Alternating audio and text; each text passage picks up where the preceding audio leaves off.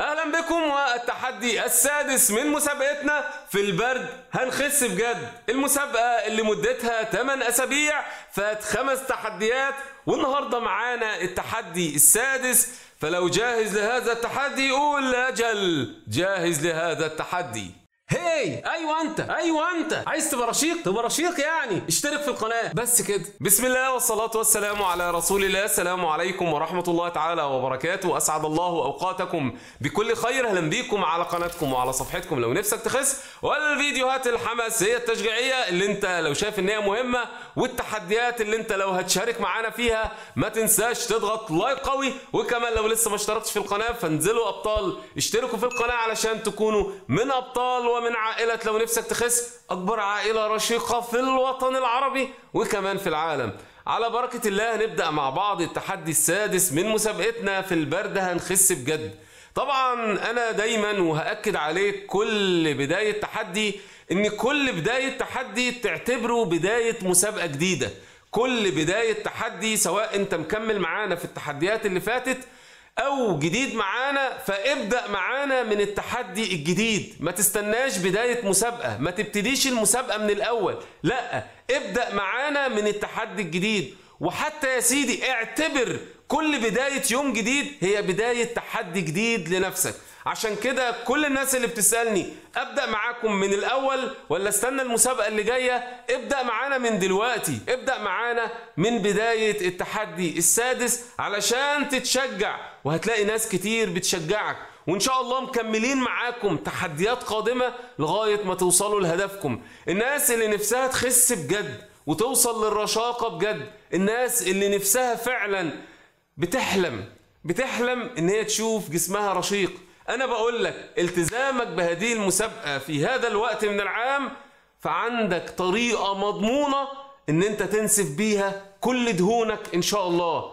عشان كده لازم نتشجع ونبدأ مع بعض ونفهم جسمنا ونفهم الكتالوج بتاع جسمنا علشان نوصل لهدفنا.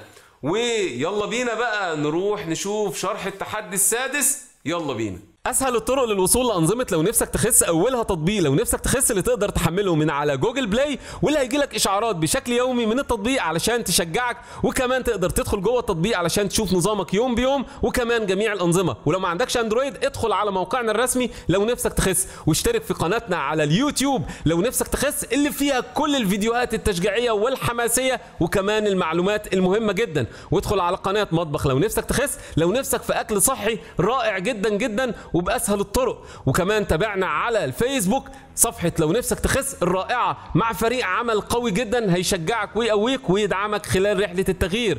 وادخل على انستجرام لو عندك حساب على الإنستجرام هتلاقينا برضو هناك وبنشجعك وبنقدم لك النظام بشكل يومي من خلال الإنستجرام. أما لو عندك تليجرام فهتلاقينا برضو وهتلاقي قناة لو نفسك تخس على التليجرام اللي هتشجعك واللي هتوصلك المعلومات بشكل يومي. أما تويتر فهتلاقينا برضو على تويتر بنشجعك وبنقدم لك النظام. وشرح سريع للتحدي السادس من مسابقتنا في البرد. هنخس بجد وتنويه مهم. لو انت عندك أي مشكلة صحية ارجع لطبيبك. فورا قبل البدء في النظام. طبعا عندنا ثلاث أنظمة نظام جميع الأوزان مناسب للناس العادية ونظام المرضعات للمرضعات والحوامل ولكن بعد استشارة الطبيب ونظام الأشبال اللي مناسب للأشبال من 11 ل 16 سنة. فيلا بينا نبدأ بنظام جميع الأوزان والتحدي السادس وهنلاقي عندنا النظام للناس الجديدة اللي متابعة معانا وبتقول هل ينفع أبدأ معاكم النظام من التحدي السادس؟ تبدأ معانا من التحدي السادس مش شرط تبدأ من التحديات اللي فاتت. فلو أنت جديد معانا ابدأ ابدا معانا فورا من التحدي السادس وهشرح لك كده أول يوم أهو علشان تمشي بعد كده وتفهم الأيام التالية عاملة إزاي. بص يا سيدي أنت أول ما بتفتح النظام بتلاقي عندك متقسم ثلاث أقسام كده. أول حتة أو أول جزئية دي بيكون فيها اسم التحدي والنظام بتاعه إيه اللي هو اليوم النظام جميع الأوزان واليوم بالتاريخ. وبعد كده بتلاقي حاجة اسمها تنشيط الحرق قبل الفطار. ليك ثلاث اختيارات يا إما تاخد معلقة عسل كبيرة من العسل تاخد معلقة كبيرة من العسل النحل وكوباية مية أو ثلاث تمرات مع كوباية حليب أو كوباية مية أو ثمرة فاكهة زي ما انت عايز بقى. ثمره فاكهه مسموحة مثلا تفاحة برتقالة اللي انت عايزه. فده أول حاجة قبل الفطار. يعني قبل ما تحضر فطارك خالص. طيب الفطار أوقات بيبقى فيه نشويات وأوقات ما فيهوش نشويات. لكن اليوم ده ما فيش نشويات في الثلاث وجبات. فهتلاقي مكتوب كلمة ممنوع النشويات. يعني لما حضرتك هتلاقي جبنة عشان انت متعود تاكل جبنة وعيش فلأ. طالما مكتوب ممنوع النشويات ما ينفعش آكل. ما تقولش أصل الجبنة جاية مع العيش. لأ مفيش كده. هي الجبنه ده بروتين مع الخضار فالفطار بتاعنا بروتين وخضار فقط.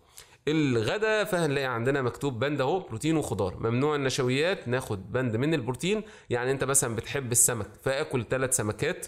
خلاص مع طبق سلطة كده حلو فده وجبة الغدا. العشاء فعندك ممنوع النشويات. تشوف كده لو انت عندك تونة تصفيها من الزيت وتاكل تونة مع مع شوية خيار مع طماطماية ليك في اليوم مثلا. ليك طماطميتين تاخد منهم طماطماية. أو سلطة يونانية خيار طماطم خس بقدونس ثلاث حبات زيتون. 50 جرام جبنة أبيض قليل الدسم. وطبعا لما تاخد ثلاث حبات الزيتون دول دول بديل لمعلقة زيت الزيتون اللي هتلاقيها هنا في الوجبات الخفيفة. تيجي بقى هنا على الوجبات الخفيفة. إيه بقى دي الوجبات الخفيفة درش؟ الوجبات الخفيفة دي دي وجبات أنت حضرتك بتاكلها خلال اليوم توزعها على اليوم. كل الحاجات دي يعني مثلا ثمرة فاكهة ليك ثمرة فاكهة وزعها على مدار اليوم ليك كوبايتين حليب وزعهم على مدار اليوم ليك جزرتين ليك طماطميتين ليك بصلتين ليك حبة بتنجان تطبخ بيهم بقى تاكلهم كده تحطهم على السلطة براحتك خالص. معلقة زيت زيتون ممكن أبدلها بالثلاث حبات زيتون أو إن أنا آخد معلقة زيت زيتون بس معلقة زيت زيتون أحسن وأفضل من ثلاث حبات الزيتون. طبعا الخضار خيار خاص التجرجير آه، دول بأي كمية في أي وقت. وليك كوبايتين أو مشروبين آه، في اليوم مثلا شاي وقهوة ينسون ونعناع بدون سكر طبعا. ويعني دول الوجبات الخفيفة. والتعليمات هنا مهم جدا المية. من من 8 ل 12 كوب بشكل يومي تشربهم على مدار اليوم وزعهم على مدار اليوم. ما ينفعش إن أنت تشرب كمية كبيرة في وقت واحد لأ وزع الثمان كوبايات أو ال 12 كوباية على مدار اليوم. بجد هيفرق معاك جدا في نزول الوزن وفي موضوع الإمساك مش هتلاقي عندك إمساك. وكمان هتلاقي إن أنت محسن من أداء الجسم وبالتالي الحرق بتاعك بيعلى بشكل كبير جدا. طبعا شوربة الخضار ممكن تشرب شوربة خضار في أي وقت. وسبق وقلنا واتشرحنا واتكلمنا إن شوربة الخضار بتكون بالمية بالمية مش بالمرق الدجاج أو اللحمة بالمية. ومعاهم مثلا الكوسة والفاصوليا الخضراء وممكن ممنوع البسلة لأن البسلة دي تعتبر كارب يعني زيها زي العيش زي الرز زي المكرونة. فعشان الناس اللي بتجيب شوربة الخضار جاهزة خد بالك بيبقى فيها جزر وفيها بسلة. الجزر مقنن عندنا لينا جزرتين في اليوم. فأنت ممكن تعمل شوربة الخضار بتاعتك من الكوسة تعملها من الفاصوليا الخضراء تضيف عليها جزرة من الجزرتين تبشر عليهم طماطمايه وطبعا اتكلمنا في الكلام ده كتير ولكن لو انت جديد فهتلاقي الكلام ده أول مرة تسمعه. وتحط عليهم شوية توابل وبهارات وكده وبالهنا والشفا. اليوم التاني من التحدي السادس زي ما انت شايف كده عندنا اليوم ده بيبقى كده الفطار بتاعه زي العشاء بتاعه. فطاره زي العشاء. طيب يعني إيه؟ يعني أنت بتاخد اتنين توست بني زائد اتنين معلقة صغيرة من العسل النحل. يعني تجيب كده توستيتين أو تجيب نص رغيف عيش بلدي وتحط فيه معلقتين عسل نحل صغيرين. خلاص؟ وكوباية مية آه، كوباية حليب معاهم مثلا وتفطر الفطار المتين بتاعك. طيب العشاء نفس الكلام بالظبط نفس اللي أنت عملته في الفطار. طيب الغدا بروتين خفيف مع خضار بروتين خفيف مع خضار. طيب الوجبات الخفيفة ليك وجبة كمان خفيفة ليك لو انت مثلا ليك ربع رغيف بلدي أو واحدة توست بني مع معلقة صغيرة من عسل النحل.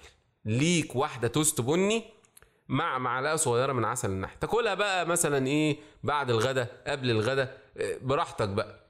خلاص؟ ليك كوبايتين حليب خالي الدسم ليك جزرتين وطماطميتين وليك بقى باقي الإيه الحاجات اللي موجودة في الوجبات الخفيفة.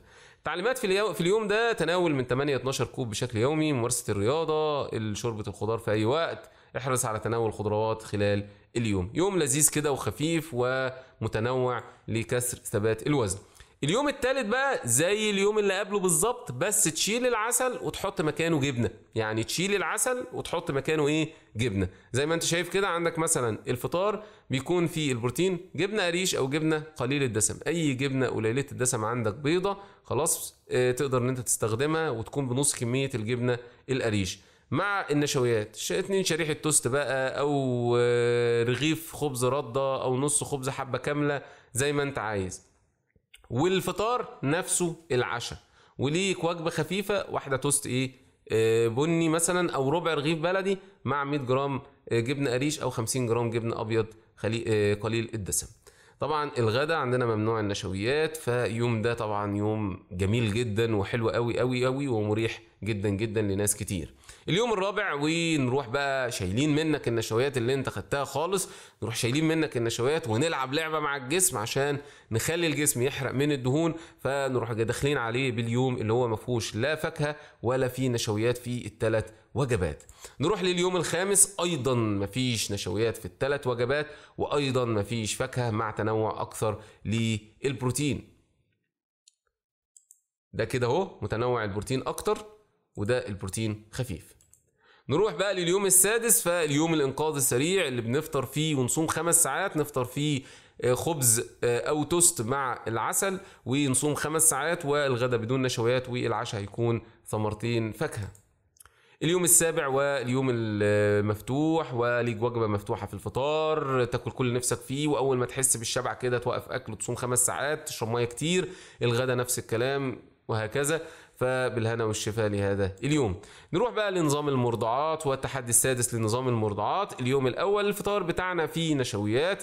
الغدا بدون والعشاء بدون نشويات. اليوم الثاني فهنلاقي عندنا اليوم اللي إحنا شرحناه من شوية اللي فيه التوست والعسل أو العيش والعسل في الفطار والعشاء والوجبات الخفيفة.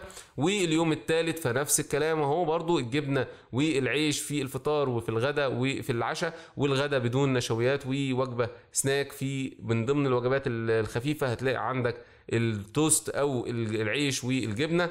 واليوم الرابع فهنلاقي عندنا هنا الفطار فيه نشويات الغدا بدون والعشاء بدون نشويات والعشاء ال- اليوم الخامس فهنلاقي عندنا الفطار فيه نشويات الغدا والعشاء بدون نشويات واليوم السادس الفطار فيه نشويات والغدا والعشاء بدون نشويات واليوم السابع والأخير من الاتحاد السادس لنظام المرضعات فهنلاقي عندنا وجبة مفتوحة في الفطار وجبة مفتوحة في الغدا والعشاء بدون نشويات.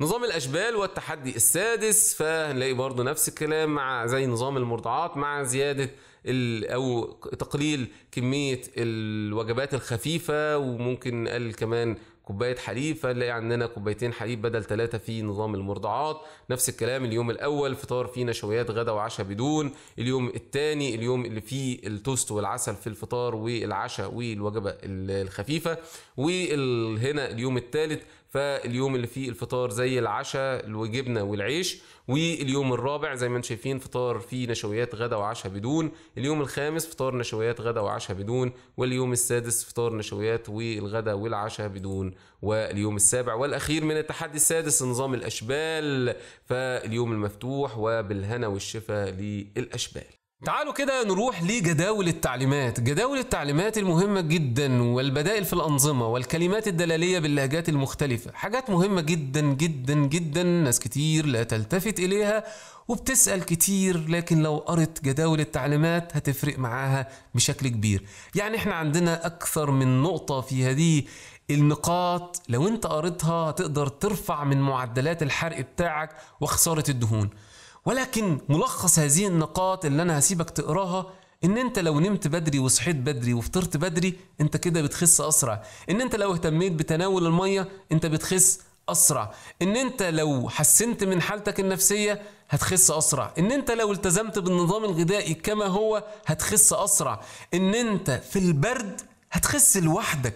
الحرق بتاعك عالي جدا. مجرد شوية التزام هتلاقي الدنيا ظبطت معاك. حتى لو انت من النوع اللي بتلخبط في بعض الأوقات لكن في البرد هتعوض اللخبطة دي وهتلاقي نفسك بتخس أسرع. عشان كده لو مشيت على النظام بدون حتى عك هتلاقي الدنيا ظبطت معاك 180 درجة وفي أسرع وقت. طبعا دي كده خطة تقدر إن أنت تتبعها أو لأ براحتك خالص. تقدر إن أنت تمشي على النظام بهذا الشكل مثلا وتوزع وجباتك. دي خطة مقترحة مننا ليك. ده جدول التقييم الأسبوعي اللي أنا بتمنى إن أنت تطبعه كده وتكتب فيه مثلا رقم الأسبوع بتاعك التحدي الأول الثاني الثالث الثامن وهكذا. وتشوف وتقيم نفسك أنت يعني ملتزم لأقصى لأقصى كام درجة جبت كام درجة؟ من 70 طبعا إزاي تدير اليوم المفتوح بنظام السعرات الحرارية؟ ناس كتير بتقول لي يا باشمهندس أنا عايزة بقى كده أتوغل في الموضوع وأشوف إزاي إن أنا مثلا يعني أقدر أحسب سعراتي ببساطة شديدة كده كل واحد فينا سعراته مختلفة عن التاني. بس سعراتنا قريبة لبعض مش بعيدة. يعني ما فيش حد مثلا السعرات عنده مثلا 2000 سعر حراري وواحد تاني 10000 سعر حراري. ما فيش كده. لا هتلاقي الرنجات يعني 2000 2500 3000 أقصى حاجة 3400 مثلا هتشوفوها في الجدول ده. يعني ما فيش أعتقد أكتر من كده. وده بيبقى يعني رجل وسنه من 11 ل 8 ل 18 سنة. ويعني اللي هو بقى إيه الحرق بتاعه نشيط جدا بيتحرك كتير جدا وبيحرق كتير. فهتلاقي إن الحرق بتاعنا متوسطه قريب قوي لبعضه. طيب إزاي إن أنا أحسب مثلا؟ يعني أنت مثلا لو رجل عندك مثلا 39 سنة زي كده فتختار هذا الاختيار من 31 ل 50 سنة. لو أنت مثلا متوسط النشاط البدني بتاعك فهتقول له والله من 2400 ل 2600 نقول 2500 وزع بقى ال 2500 دول على يومك في اليوم المفتوح أو بعد ما تتغير وزعهم على اليوم المفتوح. خلي دايما إني مثلا الأكل الزيادة الصبح يعني 40% للفطار 40% للغداء والباقي وزعه على مدار اليوم في صورة سناكس مثلا ان هم 40 و40 كده 80 لسه عندك 20% ما بين العشاء وما بين السناكس وهكذا. فهتلاقي اقرأ الكلام ده كويس فهيفرق معاك بشكل كبير جدا جدا. نفس الكلام للمرضعات ولكن بنزود حوالي 500 سعر حراري. الحقيقة المرضعات بتزيد عن المعدل الطبيعي. من 500 ممكن يصل ل 800 على حسب معدل الرضاعة للطفل بتاعها. الأشبال برضو عندهم الحرق مرتفع. يعني حتى المثال اللي إحنا خدناه من 11 ل 18 سنة كان للأشبال. يعني هتلاقي إن أنت عندك لو أنت ولد يعني كده من 11 ل 16 سنة هتلاقي لو أنت نشيط ممكن تحرق 3400 سعر حراري. وده من أقصى الأرقام اللي ممكن نشوفها في هذه الجداول. طبعا الكلمات الدلالية للنظام باللهجات العربية. كتير من الناس بشوفها بتعلق بتقول يا باشمهندس إحنا عايزين نفهم النظام ده طبعا. يعني إن شاء الله في المستقبل إن شاء الله بإذن الله نعمل لكم الأنظمة باللهجات بتاعتكم إن شاء الله. ولكن ادعوا لنا بس إن ربنا يعطينا من الوقت. فليعلم الله إني يعني بعمل كل ما في وسعي. والله العظيم بعمل كل ما في طاقتي. والله لدرجة إني أنا ممكن بقع من طولي من كتر ما أنا ضاغط على نفسي عشان أطلع أقصى ما عندي عشان ربنا ما يحاسبنيش إن أنا ممكن أكون قصرت معاكم في حاجة. فأنا عملت لكم الجداول دي علشان تشوف بس أنت مثلا الجبنة القريش عندك عاملة إزاي؟ الحليب اسمه إيه؟ اللبنة اسمها إيه؟ البيض الأومليت يعني إيه؟ الدجاج يعني إيه؟ السمك البلطي يعني إيه؟ طبعا دي باللهجات المغربية والجزائرية والشامية. طبعا دي قائمة الفواكه المسموحة اللي انت زي ما انت شايف كده فواكه مسموحة اللي ليك آه، واللي تقدر تاخد منها ودي الكميات بتاعتها تاخد منها قد إيه وما يعادل ثمرة الفاكهة وما يعادل الوجبة كاملة وأقصى حاجة ممكن تاخدها خلال اليوم قد إيه. دي الممنوعات من الفاكهة مهم جدا تقرأها ودي قا- قائمة بدائل الخضروات مهمة جدا جدا جدا. طبعا كل الكلام ده هتلاقوه على تطبيق لو نفسك تخس على جوجل بلاي وعلى موقع لو نفسك تخس. فالأمور سهلة مش شرط إن أنت تشوفها في الفيديو أو تكون واضحة قوي. دي حصة النشويات. إيه البدائل بتاعة النشويات؟ في يعني أعتقد إن إحنا ما سبناش حاجة إلا اتكلمنا فيها عشان ما يبقاش عندك حجة وتضيع النظام من إيدك. دي بدائل البروتين. كميات قد إيه؟ البدائل عاملة إزاي؟ ده البروتين النباتي. ودي المشروبات اللي انت ممكن تشربها ودي الممنوعات الدايمة الممنوعات الضارة جدا بيك الممنوعات اللي بتأذيك الممنوعات اللي انت كل ما هت تفضل ماشي وراها هتدمر صحتك تاني من أول وجديد. نقلل منها قدر المستطاع في اليوم المفتوح. حتى وما بعد التغيير نحاول إن إحنا نبتعد عنها تماما ونستبدلها. وإن شاء الله يبقى لينا حلقة إزاي ممكن نستبدل الممنوعات دي بحاجات مفيدة وتكون طعمها كويس إن شاء الله. دي الممنوعات المؤقتة. يعني إيه مؤقتة؟ يعني بنوقفها بس خلال النظام علشان نظبط بعض الحاجات. في حاجات أنت بتعتبرها زي مثلا مثلا البسلة أو البازلاء ليه ممنوعات مؤقتة هنا؟ علشان هي فيها نسبة كارب عالية. لو إحنا أخدناها على إنها خضار هتلاقي وزنك ثابت. فهتسألني تقول لي أنا وزني ثابت ليه؟ مع إن أنا باكل خضار. فتكتشف إن أنت بتاخد حاجة بديلة للرز وأنت مش عارف إن هي بديلة للأرز. بعد ما شفنا شرح التحدي السادس أتمنى من الجميع الالتزام. الالتزام ثم الالتزام. لأن الالتزام ده هو الحاجة اللي هتوصلك للرشاقة في أسرع وقت. والله العظيم ما في أسرع من كده. هتلاقي نفسك كل ما هتلتزم هتتشجع أكتر وتتقوى أكتر وتوصل لهدفك أكتر وأكتر.